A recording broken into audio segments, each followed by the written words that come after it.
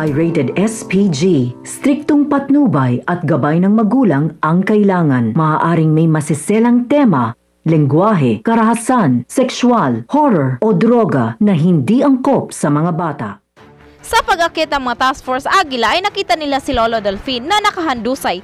Pilit ginising ni General Olegario si Lola Delfin ngunit sinabi ni Jerome na wala na ito. Dahil maraming tama ng bala si Delfin at kitang-kita naman sa kanyang likuran na butas-butas ito dahil sa tama ng bala. Hindi lubos inakala ni General Olegario na gano'n na lamang ang kinahantungan ng lolo ni Dalisay. Nanginig ang tuhod ni Olegario dahil wala man lang nagawa ang mga Task Force Agila na iligtas ito. Inutos ni Olegario kina Jerome na ilagay sa ligtas na lugar si Delfin. Kahit alam nilang wala na itong buhay dahil makikipagwakbakan pa sila kina Armando. Samantala, nagtatatakbo naman itong si Armando para mahuli si Cardo at maipresenta sa unang ginang. Nang sa pagtanaw ni Armando sa kay Lolita na nahulog sa may bangin at pinagraratatan ni Aurora, ay awa at galit na lang ang kanyang magagawa. At nakita rin ni Armando na si Samuel ay tinira ni Cardo.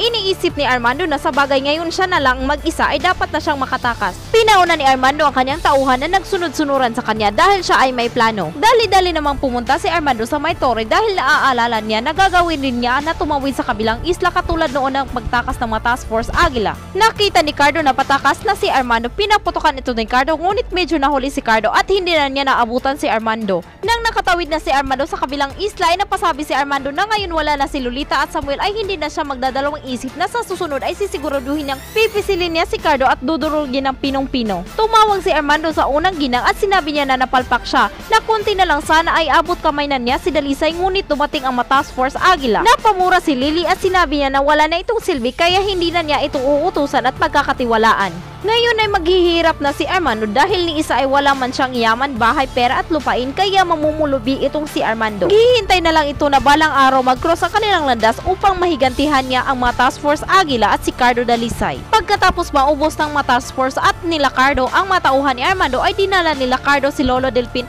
at naghukay ang mga ito upang mahatid na sa huling hantungan ang kanyang lolo. Napahagulhol silang lahat dahil wala na ang ama ng Agila. Isinumpa ni Cardo na ihiganti niya si Delphin kina Armando at Lily. At dito nagtatapos ang ating ang Provinciano Advance Update. Muli maraming salamat sa panonood. Please don't forget to subscribe, like, share, and hit the notification bell para lagi tayong updated.